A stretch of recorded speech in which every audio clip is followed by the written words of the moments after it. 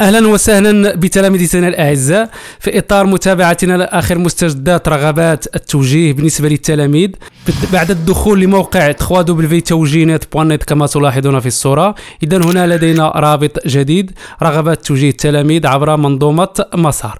اذا لدينا هنا مذكرة جديدة صادرة يوم 18 ماي 2020 وهي مذكرة متعلقة بالإجراءات الاستثنائية للتدبير الرقمي لمسطره التوجيه المدرسي والمهني بالتعليم التالي. الثانوي 2019 2020 التدبير الرقمي يعني أنه تلاميذ العتبات التوجيه بالسنة الثالثة اعدادي والجد على المشترك والسنة الأولى بكالوريا. سوف يعبرون عن رغباتهم على الصعيد الوطني عبر آه، حساباتهم الشخصية في فضاء متمدرس تابع لمنظومة مسار. آه، نشير هنا فقط أن الوزارة آه، شرعت في بث مجموعة من الحصص الإعلامية لفائدة تلاميذ عتبات التوجيه. هذه الحصص يتم بثها على قناة تلفزية العيون غالبا في حدود الساعة الواحدة بعد الزوال. ننصح تلاميذنا بالاطلاع على هذه الفيديوهات وهي من إنتاجات أطر التوجيه على الصعيد الوطني. اذا نتابع اذا هنا فقرة مهمة. اذا التلاميذ كما قلنا المعنيين بهذه العملية هم تلاميذ السنة الثالثة من التعليم الثانوي الإعدادي تلاميذ الجذوع المشتركة وتلاميذ السنة الأولى بكالوريا كما تلاحظون.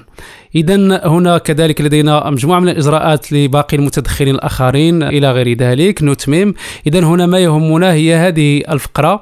يلج تلاميذ المستويات المذكورة إلى فضاء المتمدرس باعتماد أرقام مسار. المتكون رقم مسار المتكون كما تعلمون من حرف وتسعة أرقام والقن السري الممنوح لهم من طرف مؤسساتهم الثانوية ثم يقومون بالتعبير عن اختياراتهم الدراسية والتكوينية وتعديلها في الفترة المخصصة لذلك مع مراعاة ترتيبها حسب أولوياتها ضمن مشاريعهم الشخصية. إذا خلاصة القول يجب اختيار الشعبة التي تناسب مستواكم الدراسي باستحضار من طبيعة الحال ما ترغبون الوصول إليه مستقبلا.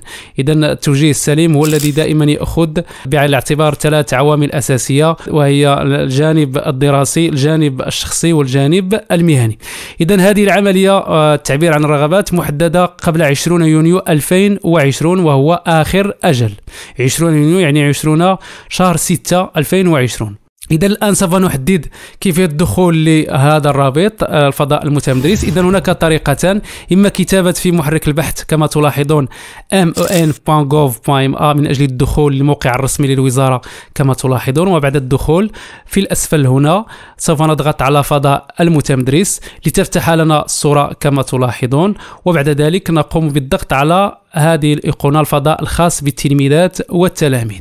هذه الطريقة الأولى الطريقة الثانية يمكن كتابة مباشرة في محرك البحث الرابط وهو سيرفيس مسار men.gov.ma دائما نشير لهذا الأمر لأنه آه، دائما المواقع الرسمية تختتم بهذا الرابط mon.gov.ma إذا بعد الدخول نضغط هنا. إذا كما تلاحظون فضاء المتمدرس تابع لمنظومة مسار الخاص بالتلاميذ في حلة جديدة وقد تم تحديثه يوم 19 ماي 2020 إذا هنا آه، لمن يملك كلمة المرور سوف يتم الدخول وهنا لمن نسي كلمة المرور سوف نوضح في فيديو لاحق. آه، سوف ننجزه لمن لا يتوفر على كلمة المرور إذا يمكن استرجاعها بدون الذهاب إلى إدارة المؤسسة. سوف نوضح الأمور في فيديو لاحق. إذا هنا آه، سوف نأخذ مثال. اسم المستخدم كما تلاحظون المتكون من حرف وتسعة أرقام أروباز تعليم بايم أ ثم كلمة المرور ثم نضغط على تسجيل الدخول. إذا بعد الدخول كما تلاحظون مسار في حلة جديدة. قوائم بشكل جديد. اذا هنا لدينا مجموعة من المعلومات المتعلقة بالمعلومات الشخصية المستجدات الإشعارات الموارد الرقمية حيث يمكن الدخول مباشرة عن موارد التعلم عن بعد التي آه، من خلال موقع تلميذ تيس. كذلك هناك مجموعة متعلقة بالتمدروس آه، حيث يتم الاطلاع على المراقبة المستمرة الغياب إلى غير ذلك.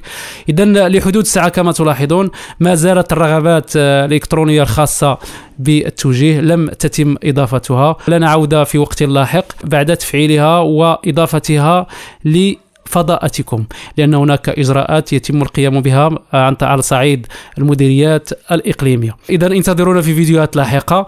لا تنسوا مشاركة الفيديو بين أصدقائكم. بالتوفيق للجميع. مع تحيات فريق موقع توجينات والسلام عليكم ورحمة الله تعالى وبركاته.